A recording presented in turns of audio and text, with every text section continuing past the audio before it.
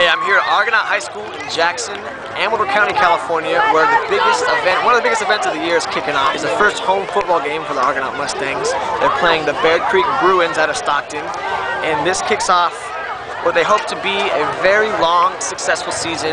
Hopefully take them up through the playoffs. They're here to bring heat, they want to have fun, make some more history, and above all, impress the crowd here in Amador County.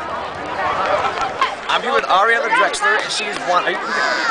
Are captain? aren't you? Varsity captain. Varsity captain for the Mustang cheerleaders right here, Argonaut High School. short Ariana, game. tell us what we got going on as far as cheerleaders go, pumping the Oh, crowd up. What have you guys been doing getting ready for this? Well, we've had a lot of um, extra practices. We practice Monday through Wednesday, so we've added a few Thursday and Saturday practices. Um, we don't practice until 5 o'clock though, so between after school and practice, we go over sidelines and work on our spirit, make sure we're loud enough, make sure we've got all the moves right, and I don't know, we've been really in touch with our freshmen this year, trying to get them prepared for their first football game and making sure that they know what they're doing and Awesome. getting them prepared. Now you're It's currently the a ball junior. carrier, number A, 40. a squad this size, is that something normal? Are you used to something Actually, bigger? we're a really Pick up of small squad five. at our school. I mean, there's not very many people at our school, so we're we're a small school. and We spread out a little bit more. We, we use the field to our advantage. We make bigger formations and make sure we're sharp and we smile and we're loud. Awesome. Well, you've been loud and sharp and on fire and looking just so pretty up here tonight. Awesome. Well, thank So you. keep it up. Nice to talk to Awesome. you. Nice to talk to you too. Thank you. Uh, I'm here with one of the coaches with They're not real Mustangs. Italians.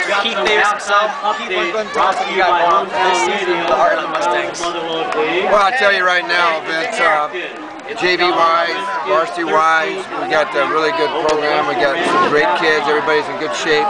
Got a lot of key positions, skill positions, and they're going to go all the way. All righty. Because I tell you, we are the Mustangs!